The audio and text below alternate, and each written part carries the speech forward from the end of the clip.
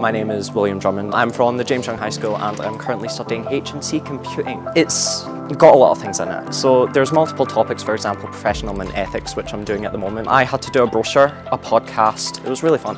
There's lots of different topics, for example, the web topic, which I done with Sandra, which was developing mobile web-based apps. Favourite part of the course? Professional and ethics so far because um, that is when we had Christine. She basically helped with my anxiety as well. Um, I was very anxious about coming in as well and doing the work, but she made it into a really relaxed environment, had a lot of banter, um, it was really fun. By all means do it because your experience is going to be something that you won't experience somewhere else. Um, the lecturers are just too kind. The way they teach things is very organised, which means it's easier for you to take in things, and it's more of an adult environment as opposed to doing, for example, advanced higher at school.